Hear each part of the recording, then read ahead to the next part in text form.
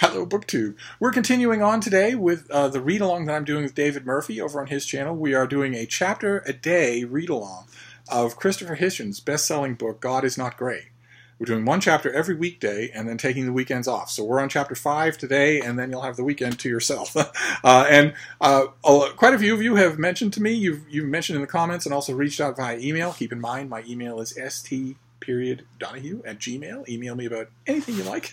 Uh, quite a few of you have pointed out uh, that you really don't think God is not great. I've mentioned a few times that it was the best selling of the wave of new atheist books that came out about 10 years ago. And quite a few of you have, have questioned whether or not that's true. Mentioned that you, you go to bookstores, you go to you know great books or interesting book displays in bookstores, and you see the God Delusion by Richard Dawkins, but you don't see God is not great.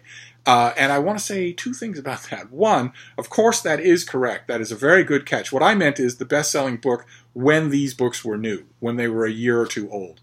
When all these things were new, when they were all on everybody's lips, when they were all in the bookstores in new release sections, God is Not Great sold far more than any of the others or all of them put together. But the, the observation about the God delusion is entirely correct. That book has what we call legs it sold really well at the time, but it is the only one of the four that I'm thinking of that have that has continued to sell well, and I believe will continue to sell well for all time. I think God is not great. The phenomenon of the book was largely uh, borne aloft by the phenomenon of Christopher Hitchens himself. And when he wasn't around to keep it alive, I, I think a great deal of wind was taken out of its sails. So that observation number one is that that, that point is very true the the long term uh, palm of victory here goes to the God delusion. And observation that I have uh, number two that I have about those comments is, um, folks, uh, keep in mind Steve is always right. Okay, what kind of dear leader cult of personality are we running here if you people can't even get straight that you must never disagree with me? You're hopeless hopeless as Jonestown style zombie eyed followers. Hopeless. anyway, uh, we are now on chapter 5 of this book, and it is titled The Metaphysical Claims of Religion Are False. Uh, and you might think from that title that what is going to follow is Christopher Hitchens examining the metaphysical claims of religion and proving them false. you, will, you will think that at the very least. But actually, a good title for this book would be The Metaphysical Claims of Religion are not examined. it's not that they're, they're true or false; they're obviously false, but they're not given a, a, even a cursory walk around the block in this chapter. Uh, instead, this chapter is Hitchens resorting to something that is very familiar to him, which I believe the Brits call tub thumping, uh, where he just goes on a riff, then winds it down, goes on another riff, then winds it down, goes on another riff, and then winds it down. He almost doesn't talk about the metaphysical claims of religion. And I shudder to think of the young men out there in the in the manosphere. I shudder to think of the young men out there in the manosphere. I shudder to think of them anyway, under any circumstance, but I shudder to think of them thinking that this chapter represents a metaphysical discussion of anything. And I know that some of them do. I've met I've met some of those young men who just think that Hitchens walked on water, that, that he was the smartest, sharpest person in the world. He was extremely smart and extremely sharp. And also, as David has pointed out in a couple of his videos, and you know I should point out as well, uh, we are being harsh on this book because it was so popular, because it has wormed its way into so many uh, tiny libraries of dude bros who don't read any or don't read much else. This and Jordan Peterson are on the same shelf all the time. Uh, we're tough on the book because of that, and also because because I suspect I've never met David Murphy, but I suspect that he has something that I, have I've long wondered isn't maybe a genetic component of Irish Americans, which is that we don't like anybody getting on their high horse with us at all. we, uh, the Irish Americans tend to to, uh, to excel in being a kind of feral intellect. I'm not a good example of that. I was a feral intellect, and then I fell into the hands of the Jesuits, and the Jesuits excel in taking feral intellects and making something weaponized out of them. uh, but it's something in that tone that also makes us want to criticize every single sentence of this book. At least for me, that bit that I read you about attending agreeable conferences makes me want to not only want to deconstruct every sentence in this book, but dig Christopher Hitchens up and belt him across the face. but uh, but uh, although there isn't any discussion, much less demolition, of religion's metaphysical claims in this chapter, I don't know. Maybe David will find some. I, I have no idea. It's been it's been a delight to do a read along this way. I don't think anyone else in booktube history has ever done a read along this way, where we are doing essentially a detente read along. We are we are on parallel tracks, but our ambassadors are not meeting. It's not like we're let's not we're chatting over Voxer every day and organizing what we're going to say and what we're going to do. His videos are all surprises to me, finding out what he picks out of each thing, which thing he finds interesting. And in a couple of his recent videos, he has wanted to stress the fact that despite the fact that we are uh, again, as the Brits would say, taking the piss out of this at every available opportunity, Hitchens can still be great. I mean, that's the animating the animating factor of this book is that when he is great, he is great. He had a way with language. I myself think that it isn't as obvious in this book as it is in quite a bit else that he wrote, but even here, when he is on, he is really on. And I want to read you a slightly long passage from this chapter to underscore that fact because uh, nothing in this chapter is original. Uh, again, I've mentioned Robert Ingersoll. I keep mentioning Robert Ingersoll. I wish we had a Robert Ingersoll book in print today. That would be wonderful. Uh, I, I, keep mentioning him. There are a whole bunch of other people that I could mention uh, who have made these arguments better. New atheists uh, on YouTube and elsewhere have often complained that, that religious apologists, especially Christian apologists, really don't have anything new to say. They don't come up with new arguments. They just continually shuffle around the same small handful of old arguments. Uh, and they don't like to admit it, but the same thing is true of of the new atheists. There's only this. This is a very limited discussion.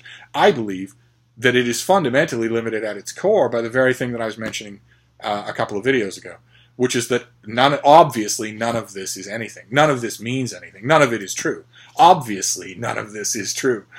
Snails in your garden have personalities, rudimentary ones, but personalities. Some of them will come straight towards your finger. Some of them will back away. Some of them will go straight towards each other. Some of them will back away. They're not identical. They're not machines. They're not biological machines. They have rudimentary personalities. There, there are, despite having almost nothing in the way of biological cognition.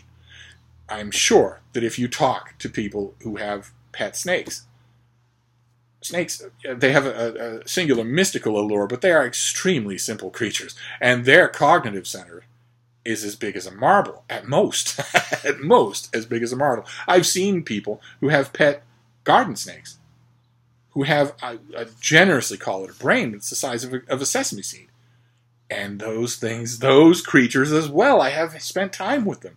Once their owners absolutely assured me that they cannot bite, I I've spent time with these animals, and you, there is a discernible personality. There very much is a discernible personality, and that's to say nothing of once you get up to cognitive complexity.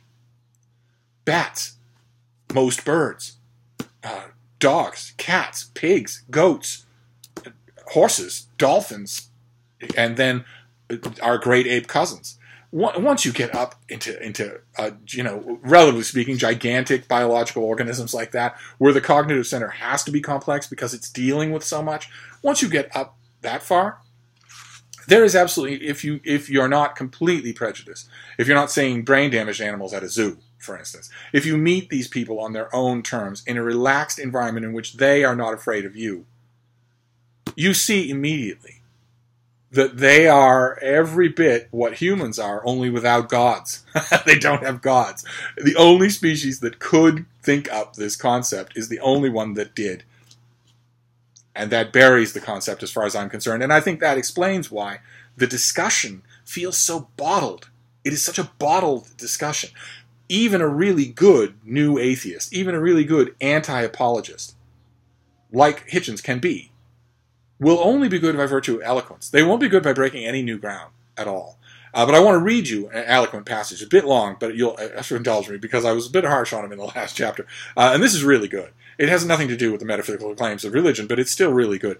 Uh, the decay and collapse and discredit of God worship does not begin at any dramatic moment, such as Nietzsche's histrionic and self-contradictory pronouncement that God was dead.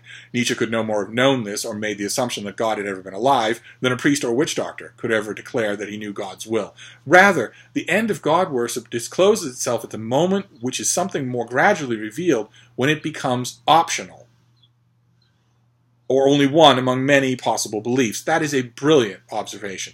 Yes, and that is why uh, adolescents tend to lose their religion when they go to college because suddenly it's optional. Suddenly there's no family making them go to church. Suddenly there's no uniformity of expression. Suddenly they're surrounded by people who have different beliefs or none at all. And suddenly their own belief becomes optional. They don't have to go to church anymore on Sunday. And that ends up killing their belief. That's a fantastic observation. Uh, for the greater part of human existence, it must always be stressed this option did not really exist. We know from the many fragments of their burned and mutilated texts and confessions that there were always humans who were unconvinced. But from the time of Socrates, who was condemned to death for the spreading of unwholesome skepticism, it was considered ill advised to emulate his example. A little bit wonky there. Uh, Socrates, there is there is no accurate stretch of the imagination that can say that Socrates was put to death for questioning religion. he was put to death for a few reasons, one of which was quasi-religious, but not for. But anyway, I, you get the point. Uh, except the, the only thing that isn't good about that wobbly little example there is that Hitchens is drawing a comparison between himself and Socrates. It's like the 150th example where he does that in the course of this book, but even so. Uh, and for the for billions of people down the ages, the question simply did not come up. The votaries of Baron Samedi in Haiti enjoyed the same monopoly, founded upon the same brute coercion as did those of John Calvin in, Geneva or Massachusetts. I select these examples because they are yesterday in terms of human time. Many religions now come before us with ingratiating smirks and outspread hands, like an unctuous merchant in a bazaar. They offer consolation and solidarity and uplift, competing as they do in the marketplace. But we have a right to remember how barbarically they behaved when they were strong and were making an offer that people could not refuse that is very good. Uh, I, I, I love passages like that. They are the passages that I have most lovingly uh, underlined in my copy of God is not great. Uh, but and the only repo- repost that I would have to that, I love the passage. I wanted to share it with you. Uh, this will be a relatively short video. There's no reason why every one of these chapter a day videos has to be 30 minutes. The only counterpoint that I would make to the observation there is one that David brought up in a couple of his videos. He wants he wanted to remind you that religions are organizations.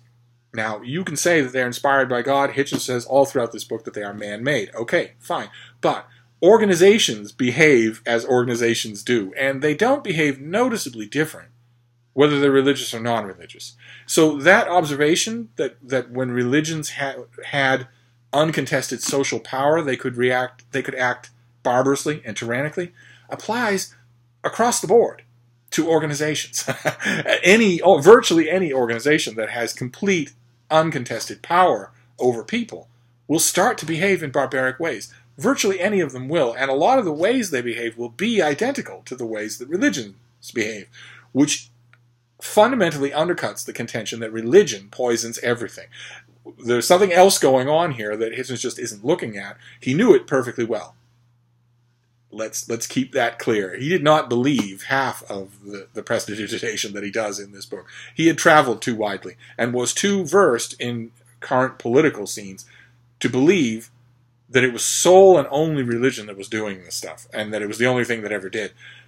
Nevertheless, that that observation is put really well, and he repeated it ad nauseum whenever he had a chance. That we mustn't forget how religion behaved when it ruled the world, when it had no competition that it's a, it's a little bit of a simplistic position. Religion was virtually never uncontested, even in the situations that he described, in the locations that he described. It was virtually never uncontested, and a lot of the the things that contested with the other organizations that contested with it behaved much as it did, without claiming divine intervention. So. Uh, we're, that's going to wrap up my observations on the metaphysical claims of religion are not present in this chapter. and we're going to move on. We'll move on on Monday uh, to the next chapter, which is a humdinger. So I want I want to prepare you because one of the impressions that David and I both might be giving you about this book is it's not worth you reading. It is worth you reading, uh, and uh, I, in my opinion, chapter six is a standout example of why. So, chapter six is called "Arguments from Design," and we will do that on Monday. so, we are going to take a break from Hitch Along until Monday. So, I will see you then. Thank you, BookTube.